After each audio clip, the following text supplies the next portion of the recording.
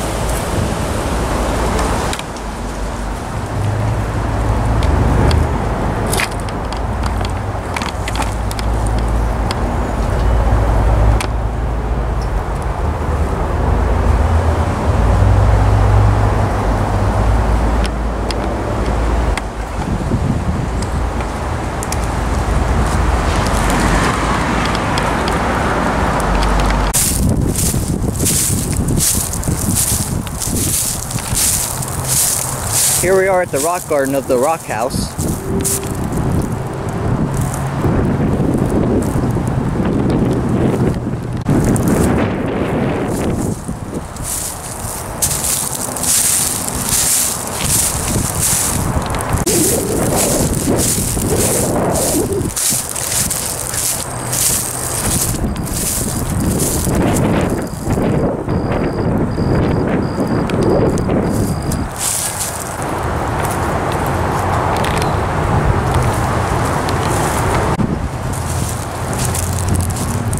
This is the gate to the house.